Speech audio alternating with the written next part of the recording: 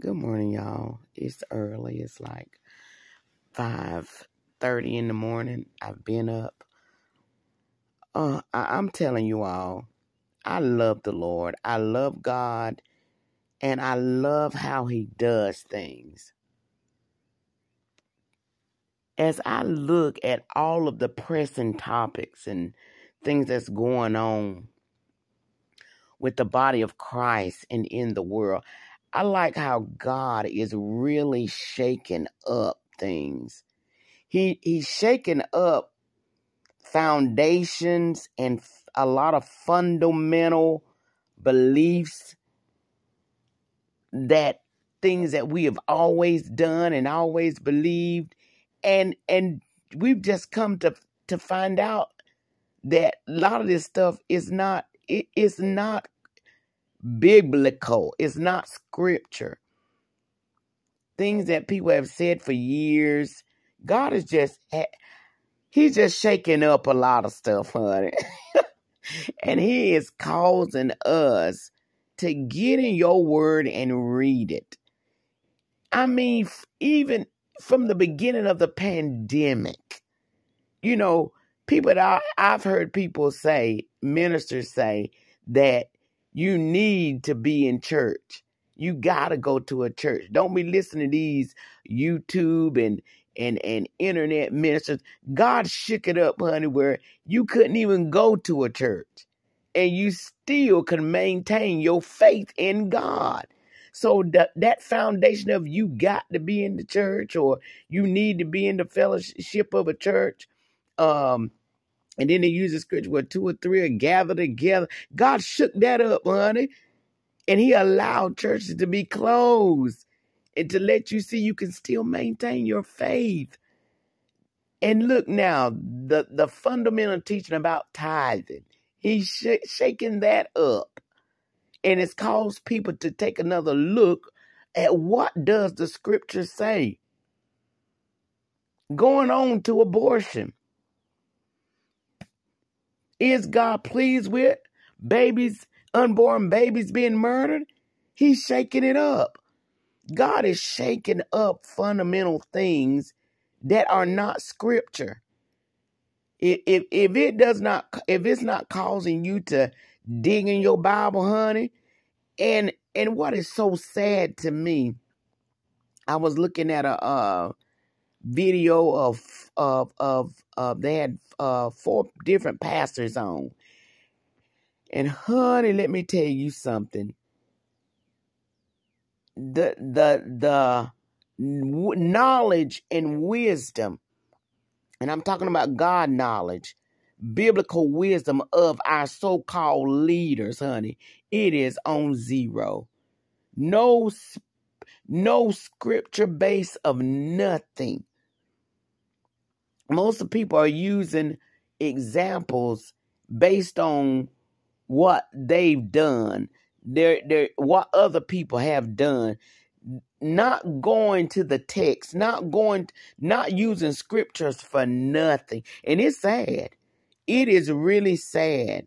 So i'm telling i just love god and i love how he's shaking up things and and and uh, uh causing people to dig into the scripture because a lot of things that we've heard from different pastors and bishops as being pastors and bishops for years, honey. They are not preaching the gospel. They are not sticking with scripture, baby. They they talking about stuff they've done, their experience. Honey, the scripture always override your experience or what you have done. So I, I I just I thank God for shaking up the church with these topics, honey. I really do. Cause you know what? He doesn't want any of us to be ignorant. He doesn't want any of us to not know the truth. That's why these these conversations are coming up. I'm telling you, it, and I, I love him for it. I really do. I love God for it. Mm, mm, mm, he's just shaking up a lot of things. And there's more things to come. more things to come. P folks have itching ears, honey. Some folk ain't gonna never unplug their ears to see the truth. You know why? Cause they blinded by um people. Some people won't speak the truth or challenge people because of who they are.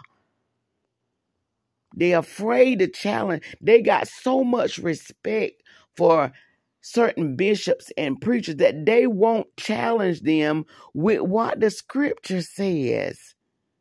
They're afraid. So they'll just agree. Because that's Bishop so and so, and that's Pastor so and so. But what does the scripture say? What does the Bible teach? The word of God triumphs over everybody every man's opinion, every man's experience. What does the scriptures teach? A lot of us are blinded because it's Pastor so and so that said it.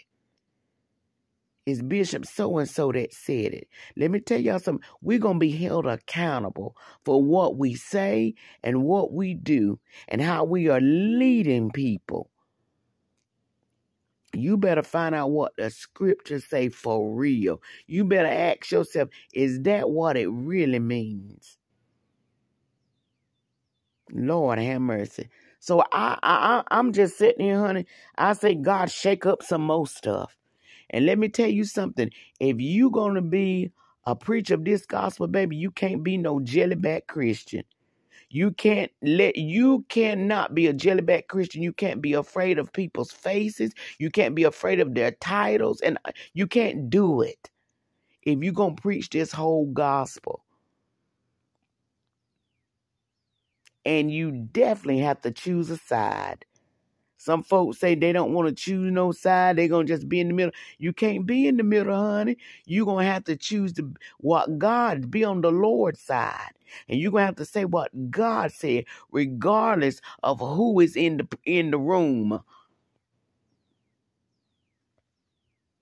And I'm telling you, when you minister the word of God, folks is not gonna like you, honey. When you telling the truth, folk not gonna like you. Because it shake up their foundation. And a lot of our foundations need to be shook. And a lot of things that we all have always believed need to be shook because it's just not right. That tithing message has been wrong for years. Abortion is wrong. Homosexuality is wrong. But those are topics that most of the church try to stay away from because you already know, honey, they're going to counsel you. They ain't going to invite you. You won't be in the clique. You won't be in the group. But, honey, I could care less because we got to give an account to God. That's why you better get in the scripture and get on the Lord's side. And, and whatever the scripture say, that's what you better stick to, honey. You better stick to that. But I, am telling you, it's a sad day in the in the body of Christ that these that these ministers, I mean, educated, they done got done been to the biblical colleges and everything, honey.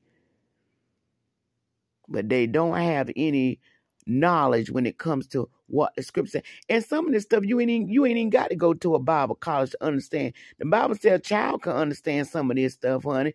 It's just plain and simple. But the Bible lets us know men come there make merchandise out of you, honey, for their own lust and for their own gain. Lord have mercy. So I'm I'm glad God is is, is uh allowing these conversations to be had on different platforms. I really am. Because it's, it's needed. The gospel is simple, honey. There's a lot of stuff that's been going on that's not being that's not right. And God is shaking it up. Shake it up some more, Lord. That's what I say. And you and you Christians, y'all get a backbone, honey. Get you a backbone. And don't be afraid to say, Thus what says the Lord. I don't care who's speaking what. You better choose who you gonna serve. And everybody ain't gonna like it. And and everybody not gonna um call you to sit on platforms with them because they know you're going to speak the scripture without manipulating people, without twisting the gospel. There's a lot of manipulation. But if you don't know what the word of God say, you won't know about the manipulation. You won't know, you won't see the deception. Because that's your friend that said it. So you can't say nothing. No. Time out for all that, honey. And anyway, I just wanted to come on and say that I just thank God for how he's shaking up things. I really do. Y'all search the scriptures. Y'all study the word of God. Find out what God is saying. What does God say about tithing? What does God say about abortion? What does God say about these things? Just like lying and hatred. What does the Lord say in the scripture? The scripture, what does he say?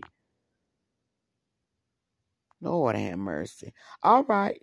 Y'all go ahead and have a great day. And I'm going to get up from here and I'm definitely having me a great day today. But um, Lord, I thank you for how you just shaking up things. All right, love y'all, toodles.